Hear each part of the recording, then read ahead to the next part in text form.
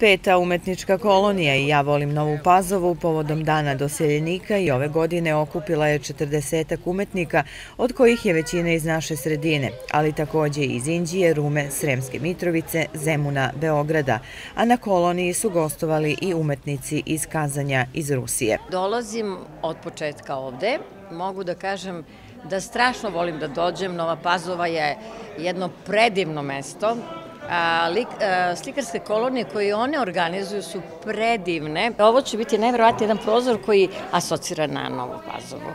Сейчас вот дети сделали каждый по цветочку и rade бегают вон все.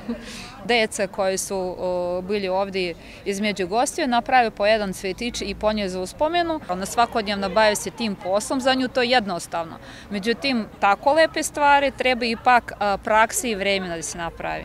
Kolonija polako poprima karakteristike međunarodnog susreta umetnika, okuplja i stare i nove učesnike inspirisane za stvaranje u Novoj Pazovi, što raduje organizatora. Jako zadovoljni obzirom na odziv, sem dvoje, troje koji su fizički bili sprečeni iz nekih zdravstvenih razloga da dođu, svi ostali pozvani su se odazvali ovoj našoj izložbi, ima i dosta novih.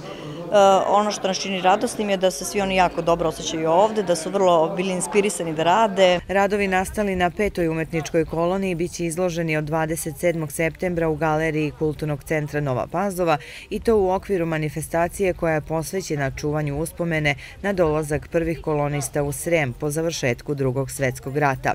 U narednom periodu nekoliko radova sa kolonije biće dato na prodaju u humanitarne svrhe kao pomoć Zoranu Gligoriću Gligi, futbalskoj legendi iz ovog mesta koji je oboleo od primarne lateralne skleroze.